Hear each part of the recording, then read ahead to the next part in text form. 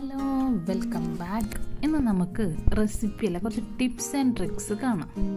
അപ്പോൾ welcome to walk and lad. നിങ്ങൾ ആദ്യമായിട്ടാണ് കാണുന്നതെന്നുണ്ടെങ്കിൽ ഒന്ന് സബ്സ്ക്രൈബ് ചെയ്ത് സപ്പോർട്ട് ചെയ്യണേ. അപ്പോൾ ആദ്യത്തെ ടിപ്പ് എന്ന് പറഞ്ഞാൽ നമ്മളിതുപോലെ കുറച്ചധികം മുരിങ്ങയൊക്കെ ഉണ്ടാകുന്ന സമയത്ത് അതായത് ഇലകളോ ഒക്കെ ഫ്രിഡ്ജിൽ സൂക്ഷിക്കുമ്പോൾ ഇതുപോലെ കവറിലിട്ടിട്ട് രണ്ട് പാരസിറ്റാമോൾ ഗുളിക അതാണ് ഇതിലേക്ക് ഇട്ട് കൊടുത്തിട്ടുള്ളത്. അതും കൂടി ഇട്ട് ഇതുപോലെ കെട്ടി ഫ്രിഡ്ജിൽ വെച്ചാൽ ഒരു കുഴപ്പമില്ല. നല്ല ഫ്രഷായിട്ട് കിട്ടും. അടുത്തത് നമ്മൾ പച്ചമുളകൊക്കെ സൂക്ഷിച്ച് വെക്കുമ്പോൾ ആ ബോട്ടിലിന്റെ താഴെ ഒരു ടിഷ്യൂ പേപ്പറോ അല്ലെങ്കിൽ ന്യൂസ് പേപ്പറോ എന്തെങ്കിലും ഒരു പീസ് ഇടുക. അതിന്റെ മുകളിൽ നമ്മളൊരു ഹാഫ് ലെവൽക്ക് പച്ചമുളക് ഇടുക അതിന് മുകളിൽ വീണ്ടും പേപ്പർ വെക്കുക വീണ്ടും മുളക് ഇടുക വീണ്ടും പേപ്പർ വെക്കുക. അങ്ങനെ അങ്ങനെ ആ രീതിയിൽ വെച്ചാൽ ലെയറാക്കി വെച്ചാൽ കുറേ നാൾ കേട് കൂടാതെ സൂക്ഷിക്കാൻ വേണ്ടിയിട്ട് പറ്റും.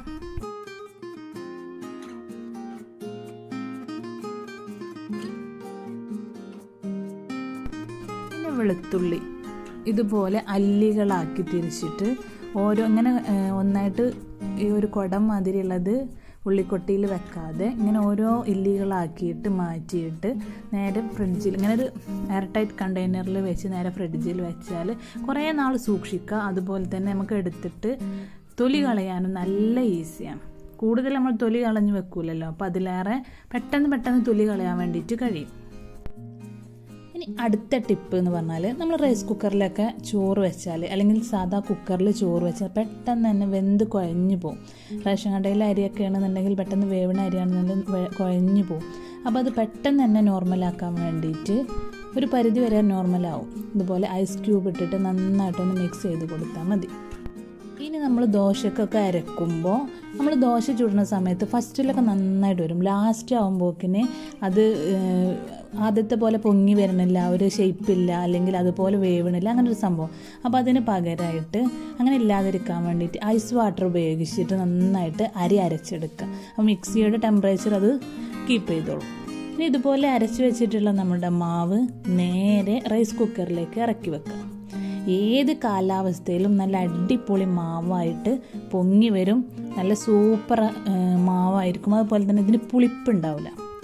നമ്മൾ രാവിലെ എടുത്തിട്ട് ഇത് നോക്ക് അപ്പം ചുടുക അല്ലെങ്കിൽ ഇഡ്ഡലി ചുടുക ദോശ എന്ത് ചുടുമ്പോഴും തന്നെ ഇതിന് പുളിയില്ലാത്ത നല്ല ദോശ ആഗ്രഹിക്കുന്നവർക്കൊക്കെ ഇത് നല്ലൊരു അടിപൊളി ടിപ്പ് തന്നെയാണ്.